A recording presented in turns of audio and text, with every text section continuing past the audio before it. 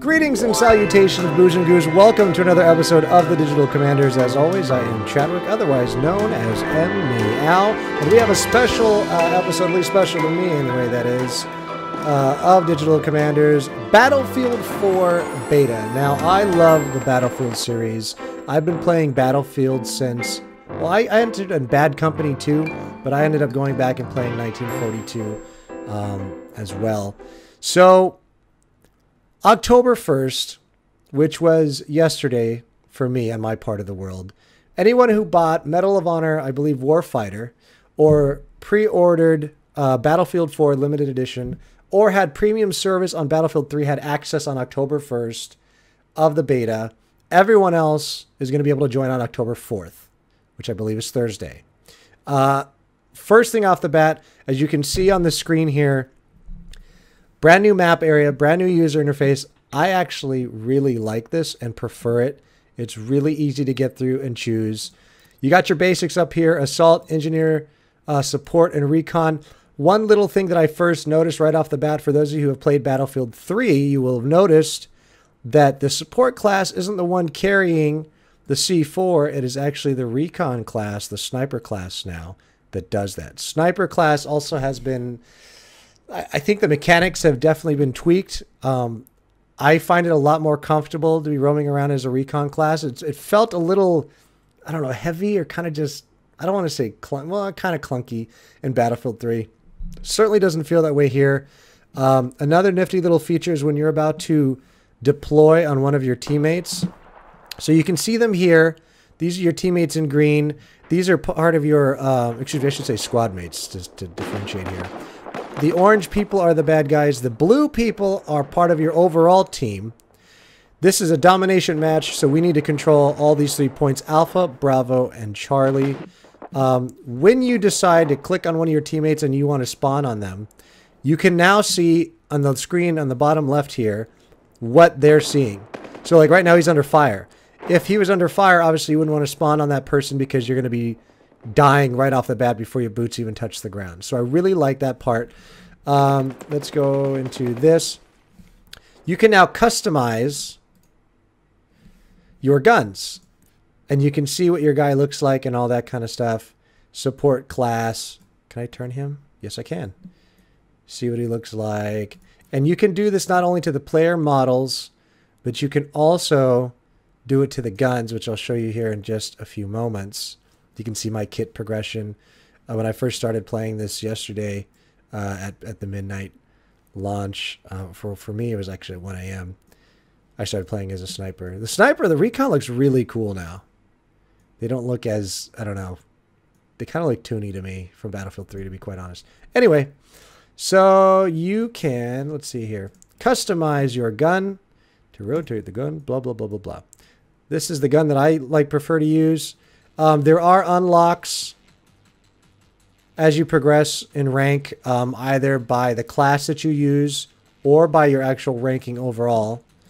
You can change all these different things, your sight, your accessory, the barrel, flash hider compensator, your grip, and also the paint color.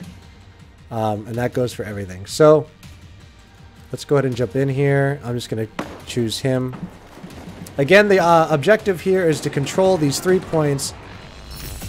Look at that, I won. That's how amazing I am. That's why I'm a digital commander. Boots touch the ground, boom, automatic win. So we'll wait for the next round to start up here, uh, and you guys will get a feel of uh, how the match works. This is what happens at the end of a match.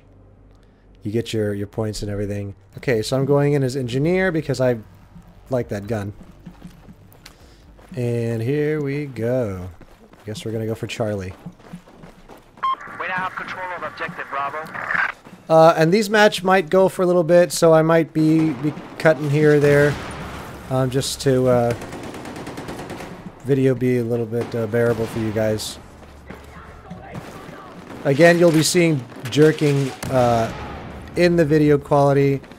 Not much I can do about it. That's just the nature of the game. So many people trying to get in on this and play. Okay, so when you die, you see that uh, it shows you the stats of the person that killed you, which direction they were at. and it highlights them in case they were behind cover so that when you respawn, you can go at them. This guy's gonna gank. Ah, they're like all over. Oh, they have like every single point. What the heck is going on here? The team, uh, the team's not doing so hot. So this is pretty much it for those of you who aren't familiar with Battlefield. Um, this isn't the, as many um, type of matches as there are. This is just one type. Hello. Goodbye. Oh, I was going to try and knife him. So there's a new mechanic in Battlefield 4, and I was hoping that's what I was going to be able to show you. People can now counter your knife movement. If you're trying to come up uh, at someone and knife them, there's a cool little animation of you knifing them and you get their dog tags, and it's kind of a um, bragging rights that you have someone's dog tags. But in this game, they can counter it. Now, I have a bit of an issue with it. At first, I was like, whoa, this is so cool. Like, this is going to change uh, the mechanics of the game. And it does, but to my knowledge right now, there's no way to counter someone else's counter on you. So, it kind of seems like right now, and I could be wrong in this, but um, I could be wrong in this, but right now it seems like just an automatic kill to you if someone is able to press the button at the right time. Which I kind of think is not that cool. Um, I would rather have it to where if you countered somebody else's counter, then you guys just let go of each other and then you have to shoot it out. I think that would be a little bit more fun of a game dynamic. Um, it might change the pressure and, it, and motivate people to get a better angle at knifing someone from the back instead of trying to go at them from the side or the front where they can see you and actually counter.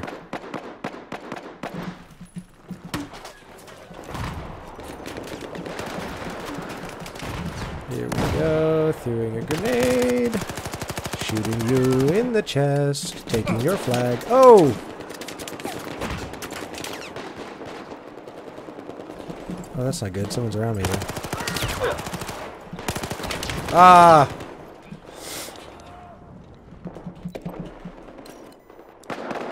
Why are they all back at Charlie? That's not helpful at all.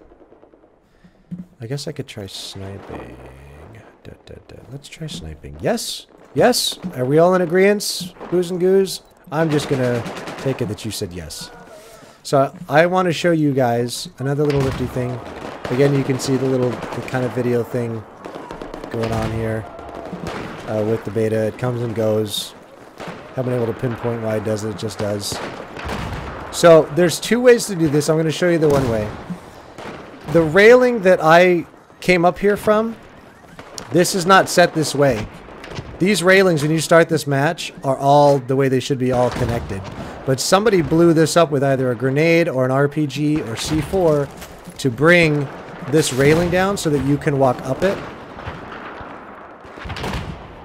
Ah, more people must be connecting because this is getting out of hand with this glitching. So you can come up here via a ladder or, which I'll show you right now, there are actual elevators that you can go in now. You can enter skyscrapers and big buildings and go up to the top here on an elevator.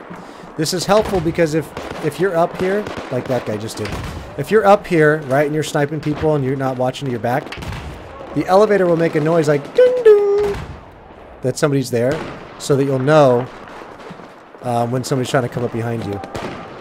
So I first, when I first realized this, an enemy was actually up here where I'm at right now with this glass, and they were trying to shoot me.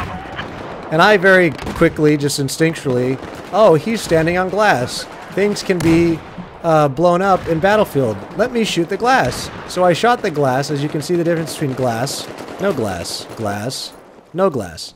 Shot the glass from underneath him, fell to his death, and I got the kill for it. Zing! Um, so there's a whole bunch of... Oh! See that? They came up just exactly what I was saying. So there's different uh, environmental parts of the game here. Uh, you can change the environment and thus change your advantage or possibly have a disadvantage Wow, that was some major lag going on there. Uh, or disadvantage by changing parts of the environment. And it kind of brings more of a serious uh, mechanic to the game that now not only do you have to look in nooks and crannies and corners on the ground, but now you have to look on the roof, right? I mean, which is kind of how it would be in real life. So, it, oh, look at this. Boom. Boom. Look at that. Did he die? I think he did die. That's what I was talking about. You shoot the glass from underneath them, and boop, there they go. Hasta lasagna, don't get any on you on the way down. All right, let me see if I can uh, show you guys a knife kill here. If I can get one. I'm hoping that I can. And actually, we better... This is the one time I actually want them to counter me. So that you can see how the mechanic works. And hopefully the, the glitchiness and stuff won't, won't be too much. Squad. Uh, those little ribbons, for those of you who don't know the Battlefield games, uh, there's different things that you can do in a match, and you can earn ribbons, which which um, add to your overall score at the end of a match and help you rank up overall on top of all the other stuff. He is going to go up the elevator. And so yes, also in case one of you had a question, you can spawn on your teammates even when they are in an elevator. Uh, another quick thing, if they shoot out the glass, how are you supposed to get across? Walk on the beams. Right? I really like games like that where they kind of bring some common sense into it. It's not so arcadish. It's kind of just common sense. You can walk on beams. They're there to walk on. Glass, if you shoot it, people will fall through. See if I can get this guy here. Give it to me. I get him? I didn't get him. Saw me throw it.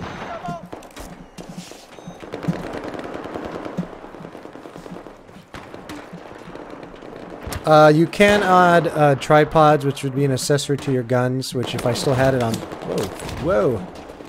Pardon me, sir. Oh, come on. Lag! Ah!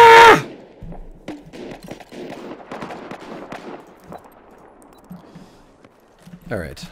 Let's see here. I believe we're winning. Because we have most of the points controlled. Oh, another little nifty feature. So do you see these bars? Ah. I'm like trying to give you the grand tour while being in the middle of a battle.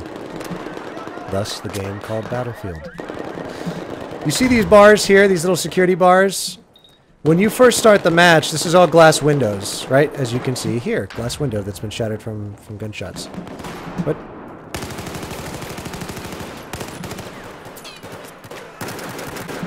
uh, if you're up here and you get in here before uh, the enemy does, there's there's this button here you can press. It says open shutters, right? And you'll close these security shutters on these windows, which means people can't come up behind you and flank you if you're trying to grab Charlie flag. Now here's the cool thing, because everything's dynamic, right? Dynamic environment, which is my favorite thing uh, in this Battlefield game if you have C4 or an RPG, you can blow up those security gates on the windows. Like as you see here, they're blown up. And you can still jump through. Right? So there's there's all these dynamic actions that you can do to progress uh, the match. And I like it. It keeps you on your toes. There's always something different that can happen. It's not so static. Oh, he threw a grenade! And we win it. Woo! So I didn't get a chance to show you a knife kill. If you want to see a knife kill, I'm sure there's plenty of other videos that you can go check that out uh, or see what the counter move is. Uh, but that's pretty much it. That's been Battlefield 4. Catch you all next time. Come on, come on. Grab it. No, I didn't grab it. Grabbing. Grab something. Grab something. Nope. you grabbed a bird. Alright.